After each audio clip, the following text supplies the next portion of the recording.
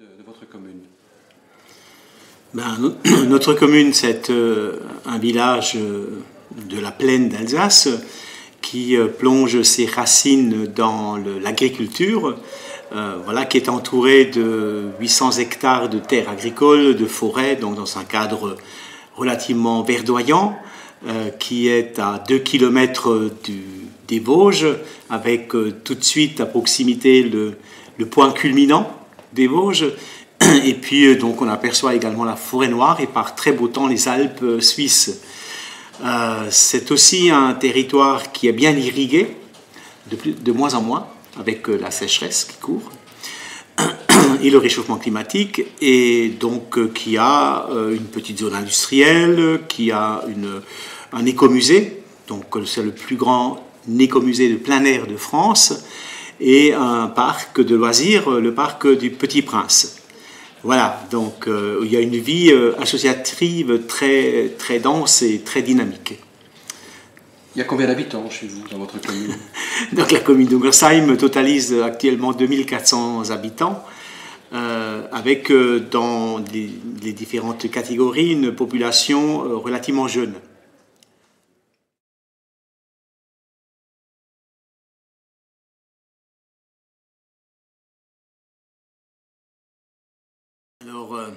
Donc euh, il nous a semblé que euh, devant les difficultés que nous rencontrons, hein, tous les mouvements qui existent en matière de transition, euh, comment sensibiliser les gens alors devant cette difficulté par rapport à cette porte d'entrée de, l'énergie ou d'autres éléments, il nous a semblé que la porte d'entrée de l'alimentation était primordiale. Alors la première action consistait à euh, développer et installer euh, une restauration scolaire 100% bio tous les jours de la semaine, avec le goûter inclus d'ailleurs. Parce que les enfants sont les premiers concernés par une alimentation saine, que ce sont des êtres vulnérables en construction, et donc euh, qu'il est important pour eux d'avoir cette alimentation qui permet justement de se développer harmonieusement. Et c'était aussi un moyen de, sensibilisation vers les parents. Et effectivement, on entend quelquefois des enfants qui disent qu'ils mangent bien à la cantine, parfois mieux qu'à la maison. Bon, ça fait pas très plaisir aux parents. Mais euh, voilà, ce sont des éléments. Et depuis presque 8 ans maintenant qu'on travaille là-dessus, presque 9 ans, qu'on travaille là-dessus, euh, et que ça existe, eh bien, il y a des, résultats qui se font sentir au niveau de, de l'essaimage et de la sensibilisation, de la prise de conscience de l'importance de cette alimentation. Donc ensuite, le volet complémentaire, c'est justement de euh, de trouver les, les, les, ressources nécessaires sur le territoire. Parce qu'il euh, n'est pas question, si on veut réduire l'empreinte écologique en matière d'alimentation, euh, d'importer des, produits bio-industriels qui viennent de, quatre coins de la planète, ou de faire parcourir, par exemple, un yaourt avant d'atterrir dans notre assiette, il fait 4000 km. Donc il était aussi important d'avoir des produits locaux. Donc des produits locaux, produits de saison et biologiques, bien sûr. Alors, euh, donc, euh, on, a ouvert une exploitation maraîchère euh, biologique dans un premier temps. Et comme ça répondait pas encore tout à fait à la demande pour la restauration scolaire et pour une conserverie qui s'est créée par la suite, on a aussi créé une exploitation maraîchère communale. Voilà, dont l'objectif, après avoir franchi le cap d'une expérimentation d'une agriculture euh, sans énergie fossile, très difficile. Voilà, donc on a été confronté à ça. Donc, euh, va être une agriculture maraîchère mécanisée pour répondre justement à ces besoins.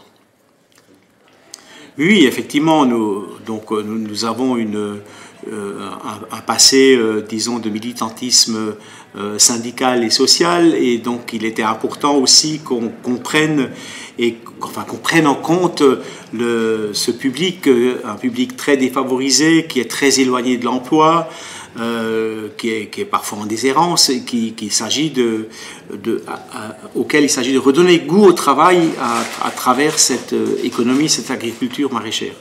Donc il y a un volet insertion par le travail qui est important euh, au niveau du maraîchage, au niveau de la restauration scolaire pour l'instant et peut-être plus tard au niveau de la conserverie.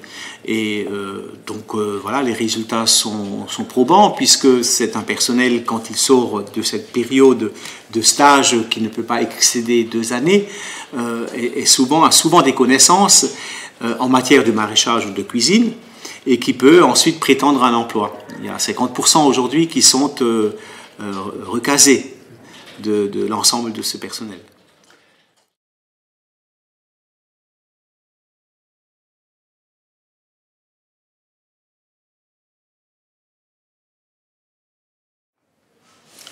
Ok, donc alors euh, notre conseil municipal, il est, il est disons, d'une moyenne d'âge relativement jeune, euh, puisqu'il a été complètement renouvelé lors des enfin, presque complètement renouvelé lors des dernières élections. Donc, dans ce conseil municipal, il y, avait au départ une opposition de. Euh, bah, sur 19 membres, il y avait deux listes autres qui, avec chaque fois deux membres, représentaient l'opposition. Donc 4 sur 19 qui étaient dans l'opposition. Aujourd'hui, nous ne sommes plus que euh, deux dans l'opposition et les deux autres ont rallié la liste majoritaire, essentiellement par la démarche de la transition, par l'intermédiaire de cette démarche qui leur a ouvert les yeux et qui a donc euh, fait en sorte qu'ils euh, participent à ce mouvement. Voilà, c'est pour le conseil municipal, donc on est majoritaire. On est majoritaire depuis 1989 euh, et nous sommes dans une politique par rapport à la transition d'initiation, d'accompagnement, de, facilitation euh, et puis quelquefois de financement. Mais bon, souvent, on, est là pour euh, euh, créer le levier pour permettre d'autres financements. Quoi. Ou alors des financements privés, en l'occurrence. Ça, c'est pour le fonctionnement du, conseil municipal. Ce conseil municipal, il se fait aiguillonner. Il se fait même plus qu'aiguillonner par, par des commissions participatives, donc où les membres sont issus de la société civile et qui peuvent euh, donc sur simple demande euh, venir euh, apporter leur contribution, leur, leur éclairage, faire leurs propositions donc au, conseil municipal sur les thèmes qui, qui, sont traités dans ces commissions ou alors sur un ordre du jour qui est complètement ouvert, qui est parfois même pas établi d'avance, qui se met en place le jour même de la réunion selon les désidératas de chacun. Donc euh, voilà, c'est très, je conçois que c'est très démocratique, c'est très ouvert aussi. Et puis euh, donc, euh, ça permet d'impliquer le citoyen et de le responsabiliser tout au long du mandat. C'est-à-dire de ne pas mettre un bulletin de vote dans l'urne et puis ensuite de se désintéresser de la vie publique, mais de continuer à s'impliquer. au début, en 2009, on avait même créé un jury citoyen D'ailleurs, nous, nous allons le recommencer. Et ce jury citoyen, il a la tâche d'évaluer au préalable les propositions euh, des commissions participatives.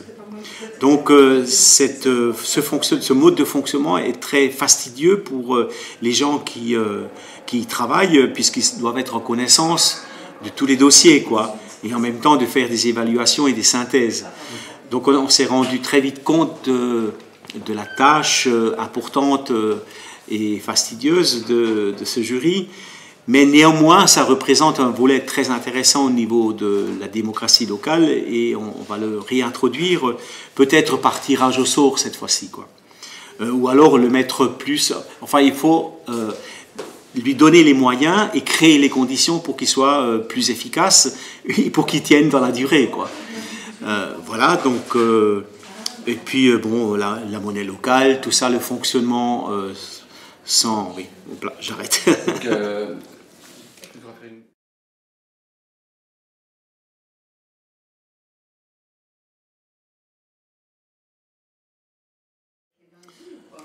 Donc la, monnaie locale complémentaire, c'est une longue histoire, puisque bon, nous étions quelques-uns à être conscients du bien fondé de l'opération, euh, mais il n'y avait pas le, déclic, euh, le, détonateur qui a fait que ça puisse euh, se mettre en place.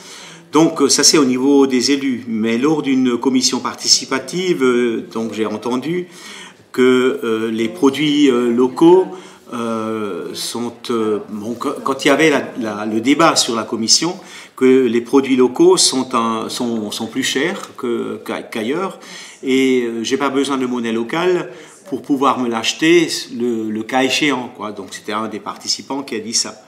Et avec euh, aussi la réponse de l'intéressé que faisait partie de cette commission, comme quoi ben, ces produits euh, donc, euh, du, producteur au consommateur ne sont pas plus chers qu'ailleurs, hors promotion, ne sont même pas plus chers que dans un supermarché, sont d'excellente qualité et que malheureusement, euh, les clients, la clientèle de, de, la commune, elle est très, très, très minoritaire. Quoi. Donc, euh, euh, on s'est dit à quelques-uns, voilà, c'est le moment, il faut mettre en place la monnaie locale complémentaire pour dynamiser notre commerce local. Donc, on, on était commission participative, élus, on était voilà, ensemble en partenariat à, l'origine du projet. Euh, mais sans, euh, sans rien financer. Ce n'est pas la commune qui a financé, donc c'est l'association qui a cherché du sponsoring pour l'impression. Et puis ensuite, tout, le fonctionnement est assuré par, euh, des bénévoles. D'où l'intérêt de commencer à une petite échelle souvent et d'avoir un petit réseau de commerçants. Voilà. Donc, ça, ça fonctionne pas trop mal chez nous puisqu'il y a à peu près 6% des usagers qui utilisent la monnaie locale.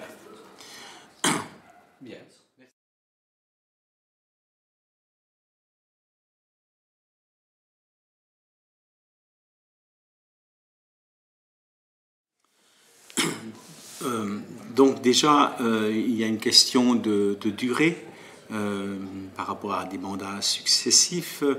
Il y a aussi, donc on, s'appuie beaucoup sur le tissu associatif, on a toujours appuyé sur le tissu associatif, et il y a un, vrai, plus qu'un dialogue, il y a une vraie symbiose qui s'est créée avec le monde associatif, qui qui peut compter sur, euh, sur la commune pour euh, des, euh, des investissements culturels ou sportifs hein, ou artistiques et qui peut aussi et qui en contrepartie sait aussi donner de son énergie pour des projets plus liés à la, transition, plus directement liés à la transition.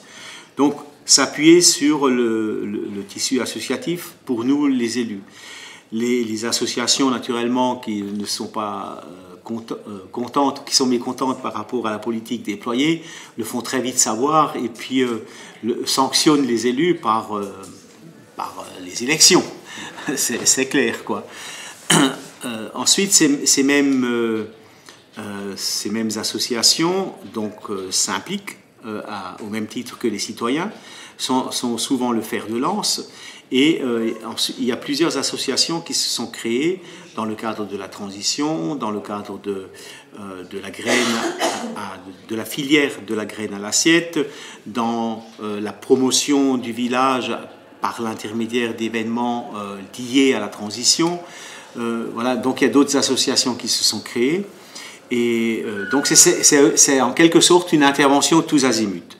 Associatif, certes, mais aussi politique dans le cadre de la transition écologique, euh, l'école euh, pour euh, la sensibilisation, voilà, des écoliers qui décrochent plusieurs labels à la, file, avec des enseignants, hein, très important, les enseignants et des parents d'élèves. Donc voilà, des économies d'énergie, tout ça. Je, dis bien une, la monnaie locale, donc tout ça, ce sont des, des actions qui touchent pas euh, chaque fois la même personne, mais d'autres personnes, et mis bout à bout, ça fait une sorte de, foisonnement. Euh, qui, même s'il reste minoritaire, représente à chaque fois des têtes de réseau, quoi, presque. Et, donc, euh, ça, permet, de, pour, ma part, d'être réélu depuis 1989 par rapport à des systèmes de, de confiance, de confiance réciproque. Et je pense que c'est aussi ce capital confiance qui a fait qu'on a pu se lancer plus facilement dans l'innovation et donc qui aujourd'hui a créé une sorte de prise de conscience et une sensibilisation qui est sans doute majoritaire à ce qui existe dans d'autres communes, mais le, fait d'avoir cette confiance réciproque hein, des, des, citoyens qui interviennent dans la vie publique et qui font des propositions souvent très pertinentes, euh, donc, et qu'on leur fait confiance en reprenant ces propositions et en les appliquant réellement sur le terrain, euh, donc ils se sentent utiles.